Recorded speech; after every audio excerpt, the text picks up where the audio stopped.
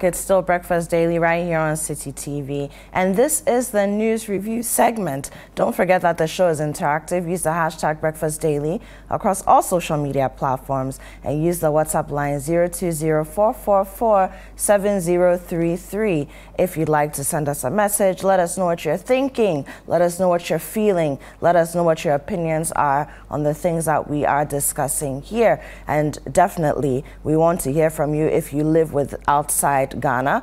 Um, definitely just prefix the number 020444033 with the country code plus 233 and we will hear you.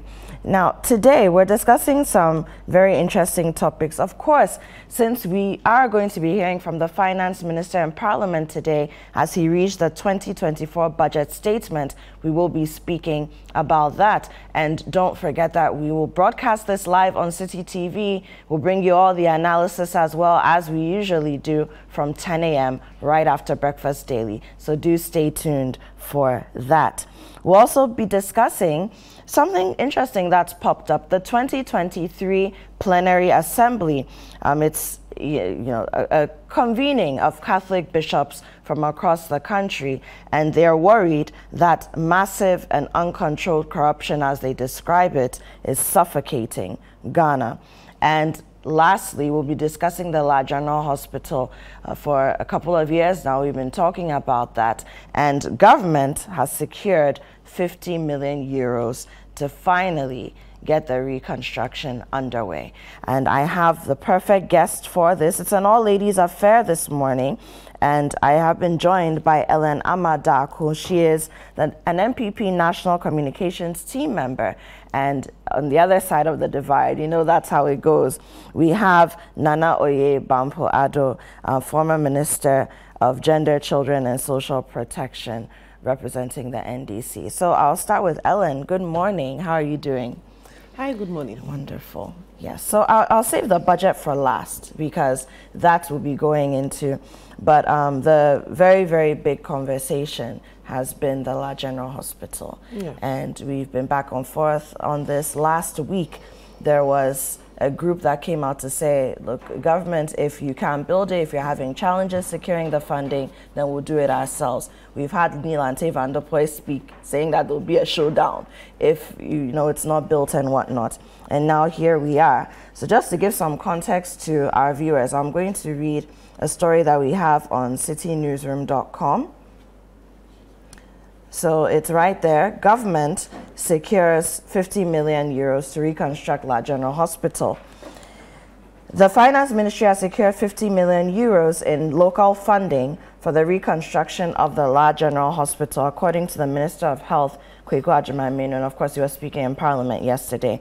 The hospital was demolished in 2020 due to structural defects, but work on the reconstruction project is yet to begin.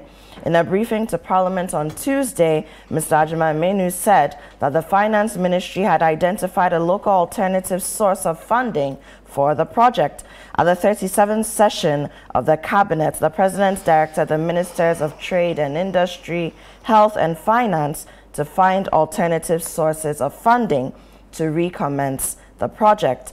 Through the efforts of a three-man committee, the Minister of Finance has now identified funds locally to continue the project with the same simple work scope, but a reviewed price of 50 million euros, he said. He also noted that processes were underway to ensure payment of the contractor and that work would commence in earnest soon.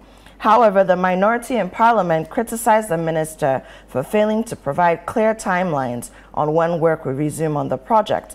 Kwabena Mintah Akandoh, the ranking member on health on the Health Committee of Parliament, dismissed the health minister's claim, labeling it as deceptive given the track record of unmet assurances. In response to these accusations, Agyeman-Manu defended the government, stating that his claims were not an attempt to deceive the public. We don't intend to deceive anybody. We don't. We pull down the building with good intentions, but I'm very sure that we'll work to give La Hospital the, you know, to give the La Hospital the that La deserves. So that was the health minister speaking. We have that story on citinewsroom.com. So, I mean, we're, we're being told that 50 million euros has been secured for the reconstruction of the La General Hospital. So, Ellen, you're here. Um, you're an NPP communication team member. I'll start with you. Is this the case? I mean, the health minister has said, do you have any news on the timelines? We're expecting anything special that we should be looking at with this project? The only thing special, good morning to our viewers. Good morning. Good morning, Madam, good morning to you. The only thing we should expect is that, as the health minister said, they've secured money. So they are going to work with it. So work should start. It's as simple as that. I, I cannot have any more information than the health minister would have. Right. So if he's been to parliament and he said he's going to start, we presume that he's going to start. Right. Um, I have peculiar issues with the health minister and his ministry and how they disseminate inform right. information. So if he has come out himself to tell us that they are about to start, okay.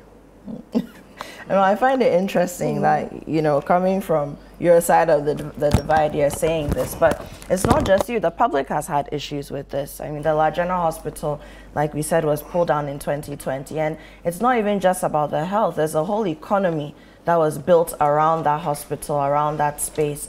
I have been there. I live in the La Enclave. I live in La Dade Kotopon. I've seen women, children who have been affected adversely by this. I know pregnant women who stopped going for antenatal because they couldn't travel further to go for health. I know women who sell kenkey, cocoa, ekwegbemi, kelewele in that space. They lost their livelihood because now all the attraction that the hospital was receiving was not coming. They weren't, you know, getting that. The nurses, the doctors would buy from them. So it's it's a big deal. And I, I'm just wondering if you have anything to say, Ellen, beyond telling us that this construction is going to start, the people of La upset, not just because they lost a hospital that was giving them health care, but because they've lost something that was very critical to their very existence in their locality. So yes, 50 million euros, but beyond that, the people who didn't have jobs, what are we looking at beyond that? Do you have any information on the that? The health minister says he's going to start, so let him start.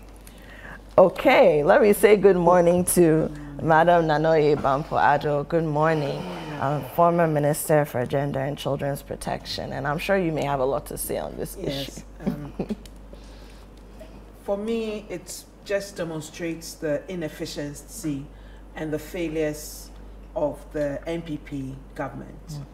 particularly in terms of healthcare and access to healthcare um, La General Hospital was serving a lot of communities. You've spoken about Labadi La, Teshi, Nungwa, Teshi Nungwa estates, even venturing into Sakumono once um, we had the estates and then the Spintex.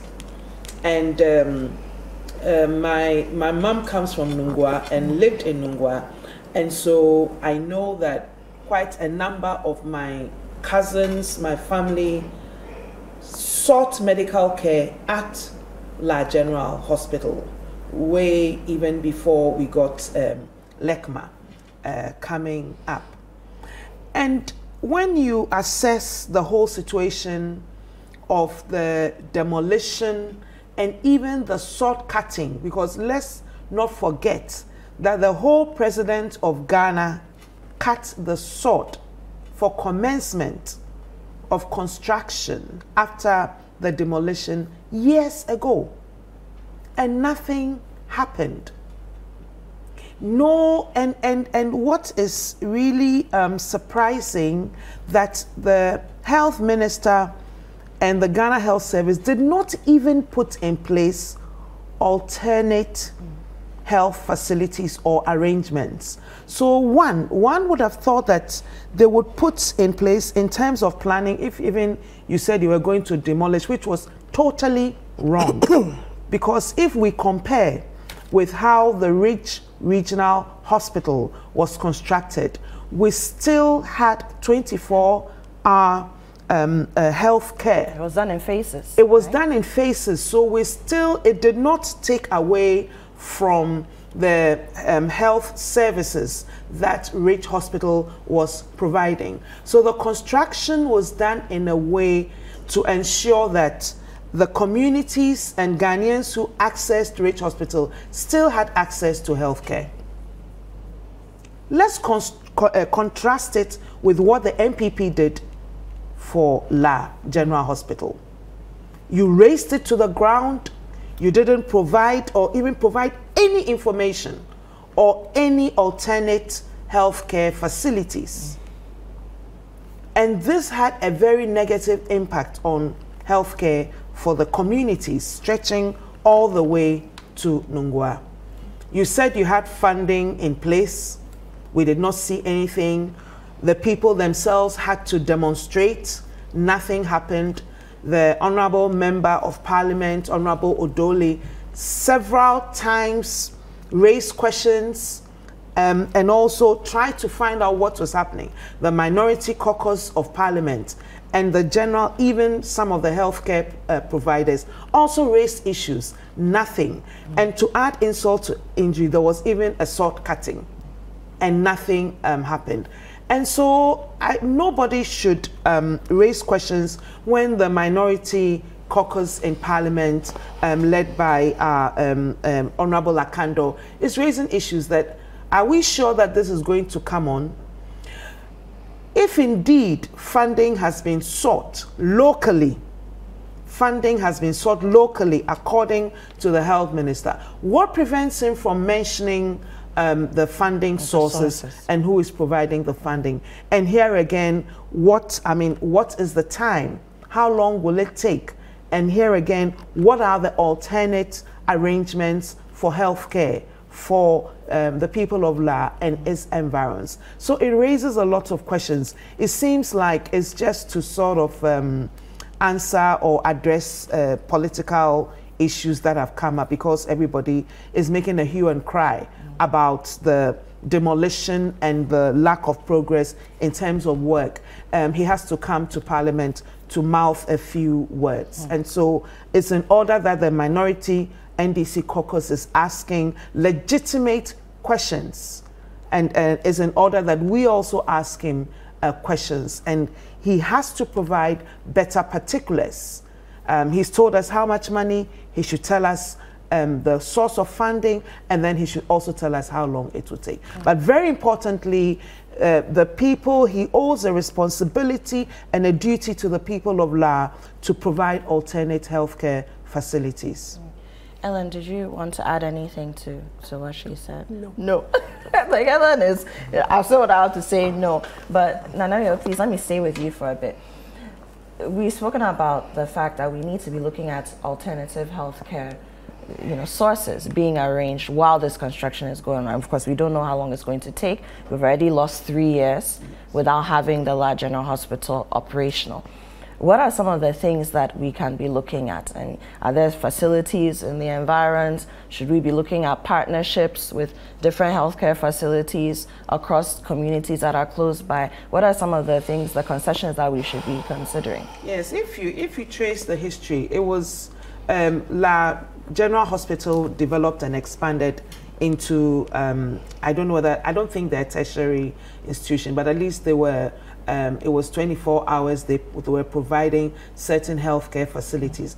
Um, for me, what I remember them for, uh, Dr. is a Dr. Taylor and others, may they rest mm -hmm. in peace, is like you said, antenatal yeah. and their maternity um, um, unit. So it's very important that um, these services are uh, provided somewhat. So even if there are um, satellite healthcare centers, I'm sure the um, Dade Kotopon, um, is it a, municipality? municipality? Yes. yes. they can provide some facilities to make sure that antenatal care still goes on and to make sure that uh, the public health services um, goes on in term and even for inoculation and, um, um, and, and those sort of public health services and certain basic services. And then if there are referrals to, uh, from the top of my head, I believe Ridge Hospital is nearby, yeah. LEKMA is nearby. So, so these um, arrangements um, need to be made and communicated to the communities that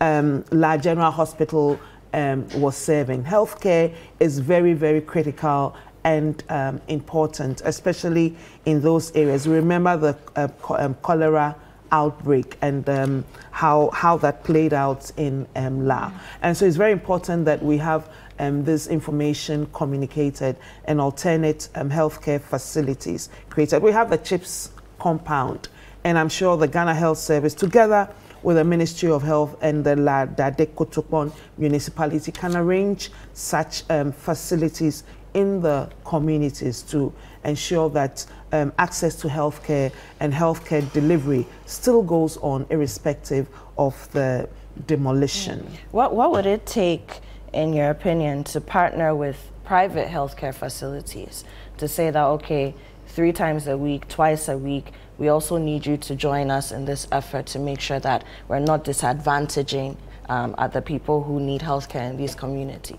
Yes, I mean, because we have the National Health Insurance Scheme, and uh, I'm sure some members of um, those communities have national health insurance cards, and some private um, healthcare facilities accept the national health insurance um, card. It shouldn't be too difficult to make those um, arrangements. Um, perhaps it would mean that you would have larger numbers um, accessing healthcare in some of the private healthcare facilities. And if we have larger numbers, I believe that they can be supported to an, um, to increase, maybe get more healthcare personnel or get some specialists visiting on certain days in a week and, and, and, and what have you. So those arrangements can be made and uh, um, uh, and, and I'm, I'm hoping that the Minister of Health, together with the Director General of the Ghana Health Service and the Greater Accra Regional Director for Health and other um, healthcare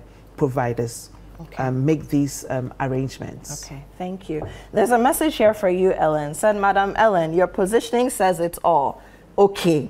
Thank you very much for being honest on the show this morning because those of us who live in its environs, we have suffered because of the demolition of the La General Hospital. And that's Sorry. coming in from AC, who I, says she lives I in understand La. what they, are yeah. going through. And that's why I've decided not to comment on it.